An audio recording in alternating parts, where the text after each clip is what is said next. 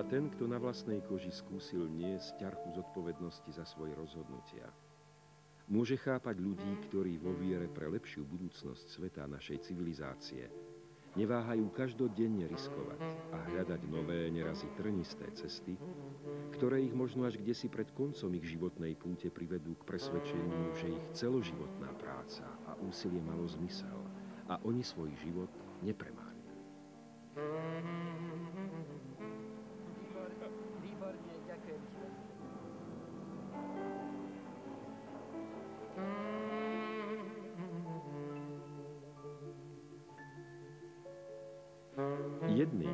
Z takýchto ľudí je aj inžinier Julius Binder, ktorého od roku 1992 spája naša, ale aj zahraničná verejnosť s vodným dielom Gabčíkov.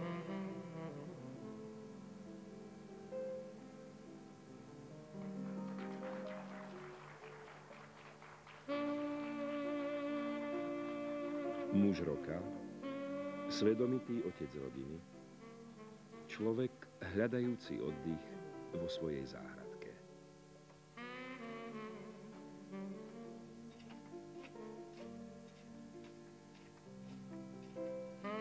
Chlap, ktorý upísal svoj život vode a predovšetkým Dunaj.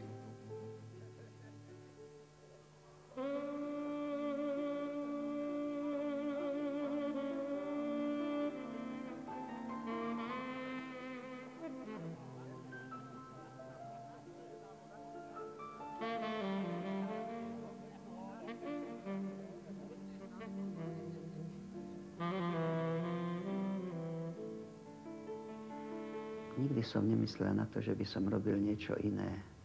Ja som presvedčený, že to, čo sa urobilo v Gabčíkove, je perfektné a je dobré a zopakoval by som to vždy, keby sa to malo opetovať. Mal som veľkú zodpovednosť, pretože som si uvedomil, čo je prehradenie korita Dunaja pre nastávajúce Slovensko. Prehradenie korita Dunaja to nie je otázka len vlastného Dunaja. Prehradenie korita Dunaja je to, čo dáva tomu Slovensku opodstatnenosť, že vzniklo. Pretože nikto by neuznával Slovensko, keby tak vážnu vec, ako bolo prehradenie korita Dunaja, začalo odkladať. Ľudia musia mať za sebou činy, nie frázy, nie rozprávanie, čo keby sme ale musia mať za tým, a to sme urobili. My sme urobili dôkaz, o ktorom sme boli hlboko presvedčení, ktorý nás nespochybňoval vo vlastnom ja, ale museli sme to preukázať tým, ktorí tvrdili opak.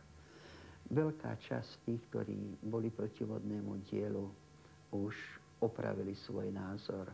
A to sú čestní ľudia, ktorí mali vo vnútri pochybnosti o vodnom diele. Ale keď zistili, že ako je to, zmenili svoj názor. Tak to je, prečo sme prehradili Gabčíkovo. Museli sme preukázať svetu. A toto bolo to najzložitejšie, preukázať svetu, že sme tu, že nemáme sa čo obávať, pretože konáme čestne, spravodlivo, konáme podľa platnej zmluvy.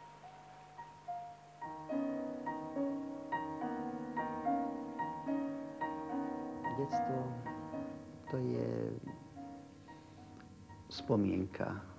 Ťažko hodnotiť objektívne detstvo, pretože detstvo má rôzne tváre.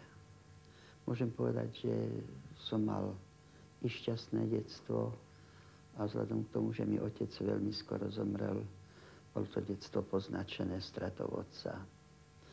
Ale žili sme v rodine, s mamkou, s bratmi, celku harmonicky. Detstvo sú krásne spomienky, krásne spomienky na prechádzky, krásne spomienky na kúpanie sa s kamarátmi, na šantenie, na vychádzky do pola, na vychádzky do lesa. Detstvo je krásny úsek života. Po zmaturovaní na reálnom gymnáziu som sa prihlásil do, na stavebnú fakultu Vysokej školy technickej v Bratislave, ktorú som absolvoval v roku 1955.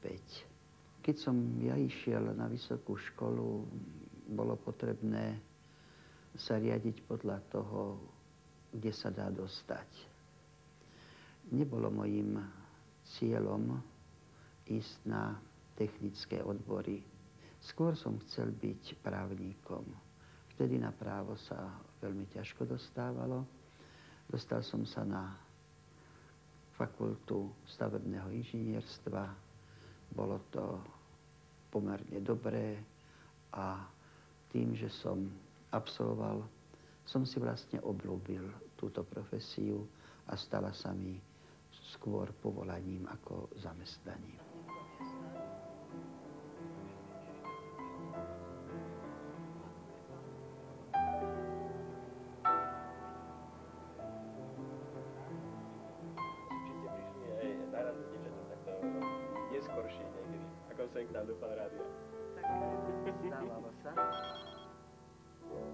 Ja som veľmi povďačný za to, že my toho veľkého úsilia, ktoré sme robili od toho roku 77.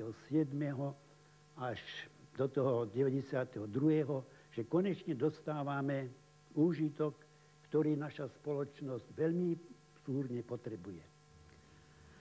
Popularita je veľmi taká dvojsečná.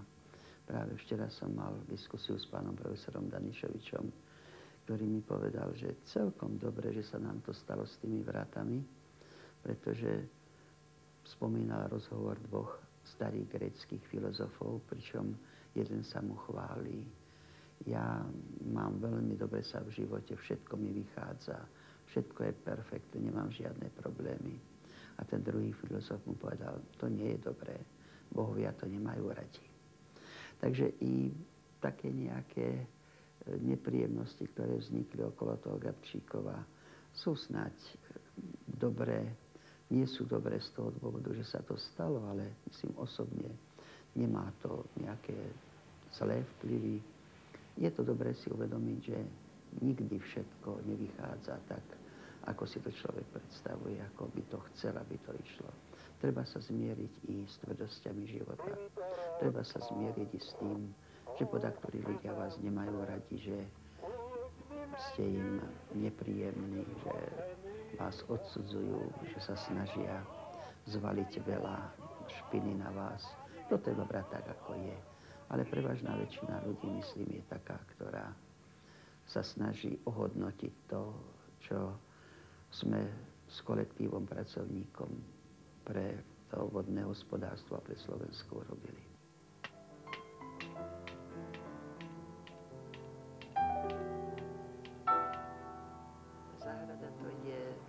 Slasť pre človeka, pretože zabudne sa na všetky vonkajšie vplyvy a človek sa dokáže doslova odreagovať a je potrebné pohľadiť rastlinku, je potrebné s ňou komunikovať a mám taký dojem, že ona to vie a takisto to cíti.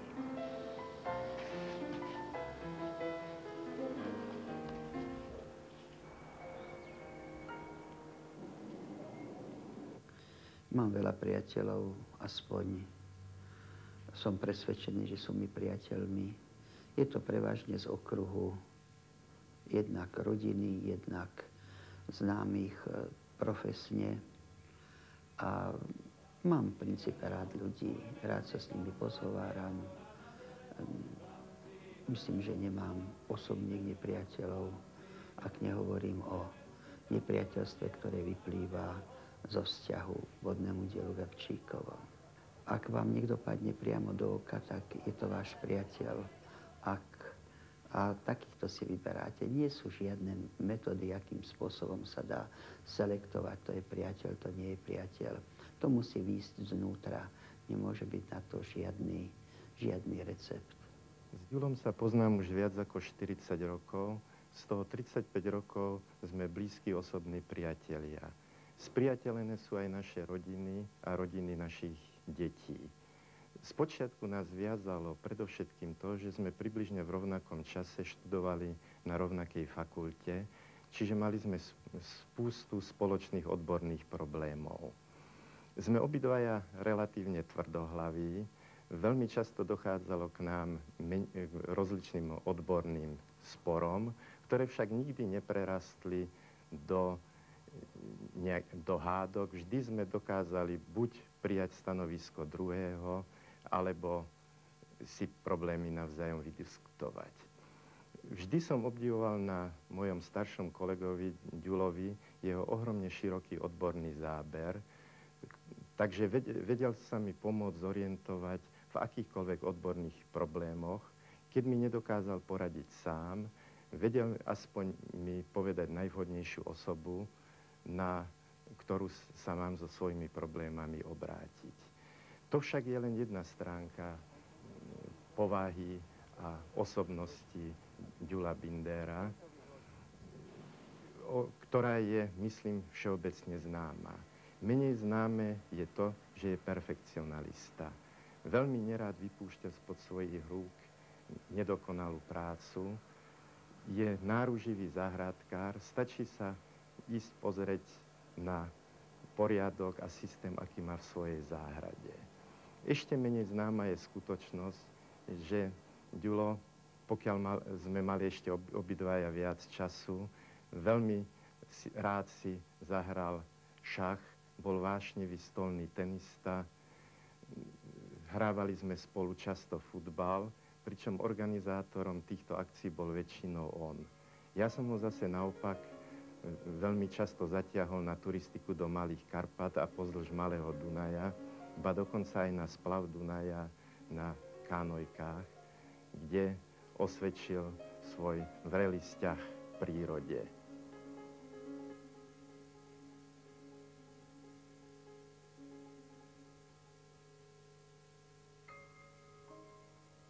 Hodnotiť ramennú sústavu 90 rokov s ramennou sústavou 60 rokov to môžu len ľudia, ktorí nepoznajú vývoj na Dunaji.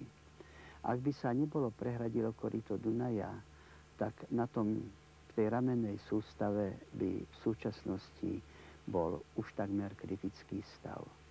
Nie, neobávali sme sa, verili sme si a verili sme, že to dobre dopadne.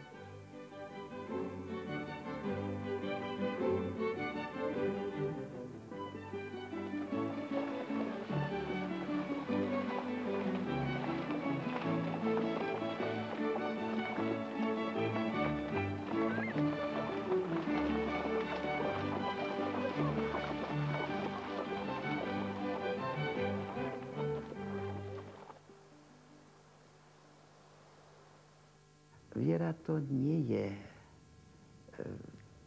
niečo, čo sa dá len tak jednoducho popísať.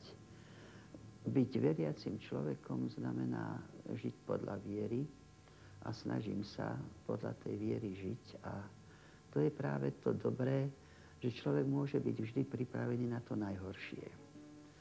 Viete, ak čítal som to alebo počul som to niekoľkokrát, vyzerá to ako taká učebnicová alebo literárna príhoda. Hrali, niekoľko pánov hralo biliard a náhle prišla debata, čo keby som mal za chvíľočku zomrieť, čo by sa stalo. Jeden povedal, musím ísť urobiť testament, druhý musel, by som išiel rýchle vysporiadať také a také pomery. Jeden pán zostal by ďalej pri hraní biliardu ten bol vysporiadaný s tým, že každú chvíľu môže prísť to, čo každého človeka čaká. To dáva viera.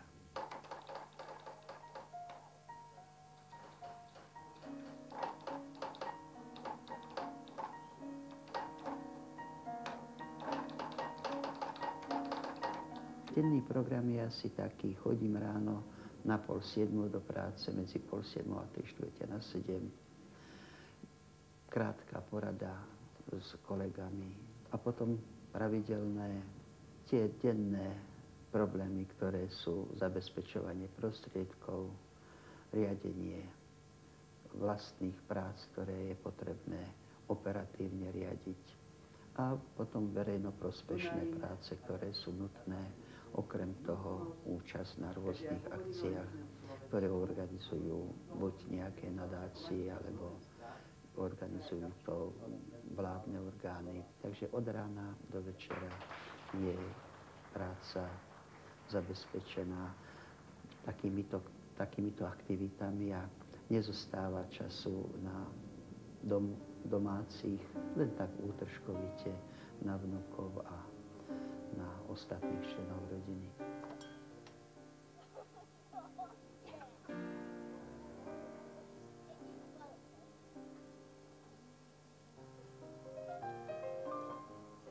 My sme ho v detstve veľmi málo videli.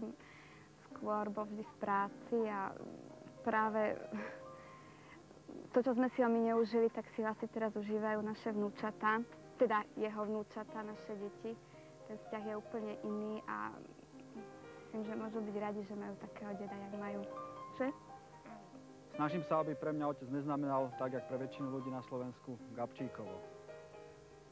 Keď s ním chodím do Gabčíkova, tak už si veľakrát hovorím, že nepôjdem s ním, pretože vždycky je len z toho nervózny a má stresy. Ale zas veľmi rád tam s ním chodím, lebo vidím, že zase má rado, že to funguje. Ako dcera mám iné meno, takže na prvý uh, pohľad alebo prvé počutie uh, ma nejako nepoznajú, to by snať môj brat vedel lepšie odpovedať. S tým menom je to príjemné. Zatiaľ som nemal negatívnu skúsenosť. Rodina je už v staršom veku tá rodina sa sústredí na to najmladšie, čo v tej rodine je. My máme štyri vnúčence, najstaršiu vnúčku a troch dobrých chlapcov. Ako hovorím dobrých, tak som presvedčený, že sú dobrí, ale v tom pravom slova zmysle chlapci. Čo sa dá, to sa pokazí, čo sa dá, to sa nejakým spôsobom ponaťahuje a sú to veľmi šikovní chlapci, ktorí, samozrejme aj dievča, sú veľmi dobrí a je to nesmierna radosť mať vydarené vnúčence. Deti to je iná kategória. Deti, na deti ste aj prísni. Deti, na deťoch vám nesmierne záleží a neodpúšťate im. Kdežto vnúkom, tam sa všeličo odpustí. Vnúk si môže dovoliť dedovi aj babe, babine povedať hoci čo a pritom sa to toleruje, ak to povie syn nebo dcera, je to podstatne zložitejšie, tam sa málo toleruje. Takže čo sa týka vnúčenec, je to radosť rodiny, je to nesmierny poklad. A kto nemá vnúčence, nevie, čo je radosť zo života. Deti sú síce malé, ale nemôže sa povedať, že nemajú dokonalý rozum. Oni na to svoje obdobie sú veľmi múdre a keď si porovnávam, alebo keď viem porovnať moje detstvo a môj rozhľad a s rozhľadom týchto vnúčeniec, to je veľký rozdiel. Debata s vnúčencami udivuje, ako majú slovnú zásobu. Samozrejme to vyplýva z televízoru a zo všetkých týchto vecí. A viete, najlepšie je na tomto, akým spôsobom oni ovládajú počítač ako to hravo všetko vedia zvládnuť. To na klávesnicu sa nepozerá, len pozerá na obrazovku a snaží sa, aby som sa i ja s ním hral. Pričom samozrejme ja nemám na toto, čo oni majú. Ten vzťah k tomu, k tej klávesnici, k tým hrám. Núčence sú prekrásna, veľmi prekrásna súčasnosť mojho života.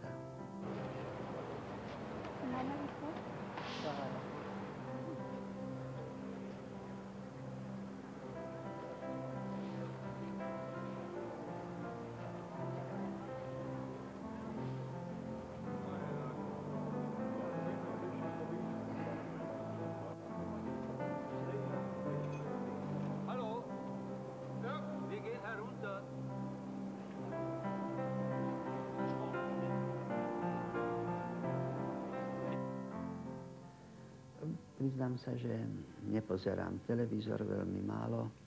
možno za týždeň pol hodinu, hodinu.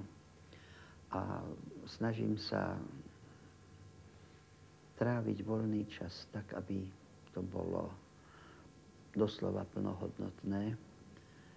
Pripravujem si veci na nasledujúci deň a mám samozrejme predsavzatia, že budem ešte aj na prechádzky chodiť, že pôjdem do lesa. To manželke stále slubujem, že budeme chodiť. Bohužiaľ, tej sa to veľmi ťažko plní. Rád chodím do divadla na dobré divadelné predstavenia. Chodíme občas na koncerty. Takže takým spôsobom trávime, to už potom hlavne s manželkou a s deťmi voľný čas.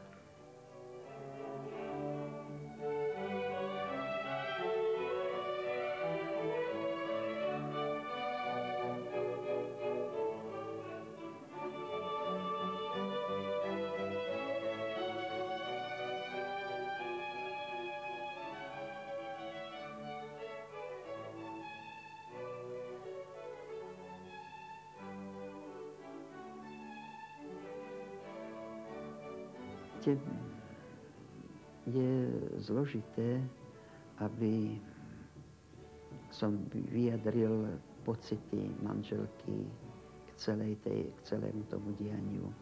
Môžem však jednoznačne povedať, že bola pritom. E, sledovala veľmi intenzívne všetky tie práce okolo vodného diela a nie je ona technický typ, ale pritom sleduje veľmi intenzívne všetko dianie, ktoré sa okolo toho deje. Môžem povedať, že bola so mnou a to je práve to dôležité. Vedieť, že ak sa niečo stane, a to sa stať mohlo samozrejme, že máte to zázemie, že sa vlastne doma nič nedieje.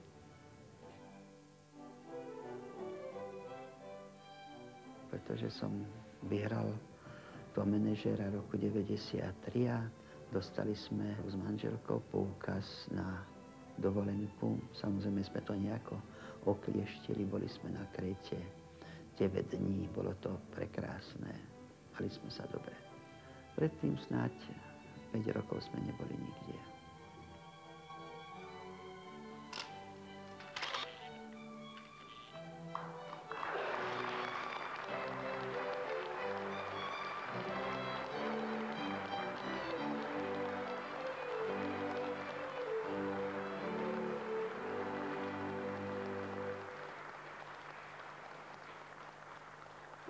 Vám môžem povedať o pánu Binderovi, je to človek, ktorý na mňa zanechá hlboký dojem svojou prácou, ktorú vykonal tuto na Dunaji. E, čo sa týka, e, nechcem povedať námorníkov, ale lodníkov, pretože Dunaj patrí lodníkom, tak neskutočne pomohol a e, jeho dielo, ktoré je teraz rozbudované v sústave vodných diel Gabčíkov Nadmároš, budeme tvrdo bojovať o to, aby sa dobudovala, i spodná časť Naďmároš, pretože to nebude len Naďmároš, ale to bude aj pokračovanie ďalšej vážskej cesty do, do Polska, prepojenie váhu s, s Odrou.